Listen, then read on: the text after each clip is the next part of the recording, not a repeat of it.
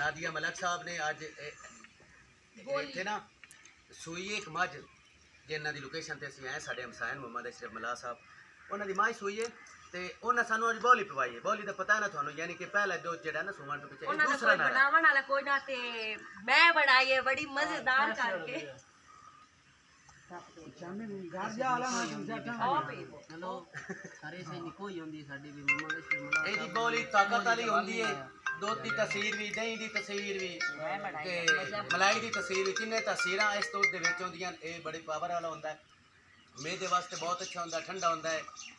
ਤੇ ਲਿਹਾਜ਼ਾ ਇਹ ਸਾਨੂੰ ਪੀਣੀ ਚਾਹੀਦੀ ਇਹ ਪਿਓਰ ਦਿਹਾਤੀ ਮਾਹੌਲ ਜੀ ਪਿਓਰ ਕਲਚਰ ਪੰਜਾਬ ਦਾ। ਜਿਸ ਤਰ੍ਹਾਂ ਪੰਜਾਬ ਦੇ ਵਿੱਚ ਸਾਡੇ ਡਾਰੀਆਂ ਡਪਾਰੀਆਂ ਤੇ ਲੋਕ ਜ਼ਿੰਦਗੀ ਬਸਰ ਕਰਦੇ ਨੇ। ਆਪਣਾ ਰੰਗ ਪੰਜਾਬ ਦਾ ਚੁੱਲ੍ਹੇ ਦੇ ਉੱਤੇ ਸਾਰੀ ਫੈਮਿਲੀ ਦਾ ਬਾਣ ਦਾ ਇੱਕ ਆਪਣਾ ਹੀ ਨਜ਼ਾਰਾ ਹੁੰਦਾ ਹੈ। ਇੱਥੇ ਡਾਈਨਿੰਗ ਟੇਬਲ ਜਾਂ ਇਹ ਦੂਈਆਂ ਕੁਰਸੀਆਂ ਸਭ ਹੀ ਥੱਲੇ ਨੇ, ਸਭ ਕੁਝ ਵੀ ਨਹੀਂ।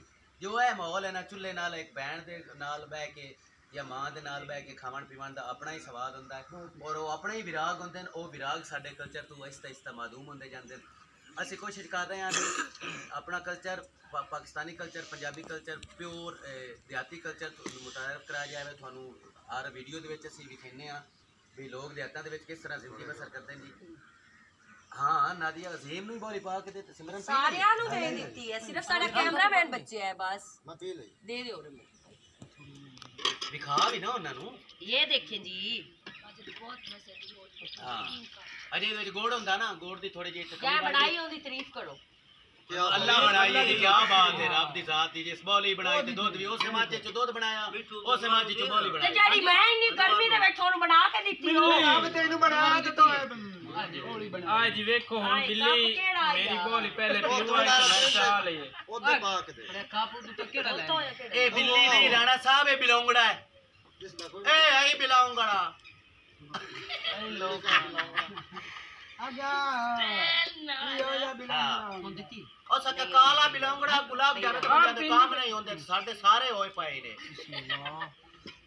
ਸਾਡੇ ਅੱਗੇ ਸਾਰੇ ਹੋਏ ਪਏ ਆ। ਸਾਡੇ ਵਿਲਾਗਿੰਗ ਕਰਨ ਦਾ ਮਕਸਦ ਇਹ ਹੁੰਦਾ ਹੈ ਅੱਜ ਦੀ ਅਸੀਂ ਸਟੋਰੀ ਜਿਹੜੀ ਬਣਾਈ ਹੈ ਸਾਡੇ ਜ਼ਿਮੀਦਾਰ ਭਾਈ ਜਿਹੜੇ ਜਿਹੜੇ ਸਾਡੇ ਭਾਈ ਸੀਰੀ ਰਲੇ ਹੋਏ ਹੁੰਦੇ ਨੇ ਉਹਨਾਂ ਦੀ ਕੋਈ ਮੁਸ਼ਕਲਾਤ ਹੁੰਦੀਆਂ ਨੇ ਕੋਈ ਫੈਮਿਲੀ ਮੈਟਰਸ ਹੁੰਦੇ ਨੇ ਕੁਝ ਕਰਜ਼ੇ ਹੁੰਦੇ ਨੇ ਜਿਹੜੇ ਉਹਨਾਂ ਦੇ ਉੱਤੇ ਚੜੇ ਹੁੰਦੇ ਨੇ। ਔਰ ਉਹਨਾਂ ਤੋਂ ਨਜਾਇਜ਼ ਕੁਝ ਲੋਕ ਫਾਇਦਾ ਉਠਾਉਣ ਦੀ ਕੋਸ਼ਿਸ਼ ਕਰਦੇ ਨੇ। ਉਹ ਸੀਰੀ ਤੇ ਅਸਾਂ ਕਲਿੱਪ ਕੀਤਾ ਵੀ ਉਹ ਕਿਸ ਤਰ੍ਹਾਂ ਲੋਕ ਜ਼ਿੰਦਗੀ ਗੁਜ਼ਾਰਦੇ ਨੇ। ਔਰ ਕਿਤਨੀ ਤੰਗ ਦਸਤੀ ਨਾਲ ਉਹ ਜ਼ਿੰਦਗੀ ਗੁਜ਼ਾਰਦੇ ਨੇ। ਔਰ ਸੀਰੀ ਦੀ ਤਨਖਾਹ ਤੁਸੀਂ ਜਾਣ ਕੇ ਹੈਰਾਨ ਹੋ ਜਾਓ ਕਮ ਅਜ਼ ਕਮ 2.5 ਤੋਂ ਪੌਣੇ 300 ਰੁਪਇਆ ਪਰ ਡੇ ਹੁੰਦਾ ਹੈ। ਉਹਦਾ ਰੀਜ਼ਨ ਕੀ ਹੁੰਦਾ ਹੈ? ਉਹਦਾ ਰੀਜ਼ਨ ਇਹ ਹੁੰਦਾ ਵੀ ਜਿ ਦੁੱਖ ਹੋਵੇ ਸੁੱਖ ਹੋਵੇ ਉਹ ਜ਼ਿਮੀਦਾਰ ਦੇ ਪੈਸੇ ਉਹਦੇ ਉੱਤੇ ਬਰਡਨ ਬਣਿਆ ਰਹਿੰਦਾ ਸਾਰੀ ਜ਼ਿੰਦਗੀ ਬਲਕਿ ਸਾਰੀ ਜ਼ਿੰਦਗੀ ਕੀ? ਨਸਲ ਦਰ ਨਸਲ ਇਹ ਗੁਲਾਮੀ ਚੱਲਦੀ ਰਹਿੰਦੀ। ਔਰ ਉਹ ਵਿਚਾਰੇ ਉੱਤਾ ਹੁੰਦੇ ਹੀ ਨਹੀਂ। ਜਿਹੜੇ ਕੰਮੀ ਲੋਕ ਹੁੰਦੇ ਨੇ ਛੋਟੇ ਲੋਕ ਹੁੰਦੇ ਨੇ ਇਹਨਾਂ ਦੇ ਦੋਰਾ ਮਵੇਸ਼ੀਆਂ ਦੇ ਜਾਂ ਵਾਈ ਬੀਜੀ ਦਾ ਕਰਨ ਵਾਲੇ ਹੁੰਦੇ ਉਹ ਸਾਰੀ ਜ਼ਿੰਦਗੀ ਉਹ ਸਾਰੀ ਜ਼ਿੰਦਗੀ ਡੰਗਰਾਂ ਨਾਲ ਡੰਗਰ ਹੀ ਬਣ ਜਾਂਦੇ ਵਿਚਾਰੇ। ਬਿਲਕੁਲ। ਨਾ ਜੁੱਤੀ ਕੰਮ ਦੀ ਈਦ ਬਕਰੀਦ ਕੋਈ ਛੁੱਟੀ ਵਾਲਾ ਕਨਸੈਪਟ ਹੀ ਕੋਈ ਨਹੀਂ। ਛੁੱਟੀ ਵਾਲਾ ਕਨਸੈਪਟ ਇਸ ਤੋਂ ਜਿੱਦਾਂ ਡੋਰਾਂ ਨੂੰ ਛੁੱਟੀ ਜਿੱਦਾਂ ਖਾਣੀ ਡੋਰਾਂ ਨੂੰ ਖਾਵਣ ਦੀ ਛੁੱਟੀ ਕੋਈ ਹੁੰਦੀ ਹੈ। ਬੰਦੇ ਨੂੰ ਕਿਹੜੀ ਤੇ ਇਸ ਤੋਂ ਬੰਦੇ ਦੀ ਛੁੱਟੀ ਕੋਈ ਨਹੀਂ ਹੁੰਦੀ ਕੋਈ ਮਰ ਜਾਵੇ ਕੋਈ ਟੁਰ ਜਾਵੇ ਕੋਈ ਈਦ ਹੋਵੇ ਬਕਰੀਦ ਹੋਵੇ ਸ਼ਾਦੀ ਹੋਵੇ ਉਹਨਾਂ ਡੋਰਾਂ ਨੂੰ ਪੱਠੇ ਗੱਤ ਕੇ ਤੇ ਤਾਂ ਜਾਵਣਾ। ਜਾਂ ਬੰਦਾ ਕੋਈ ਦੇਵਣਾ ਨੇ ਮੰਗਾ। ਬਿਲਕੁਲ।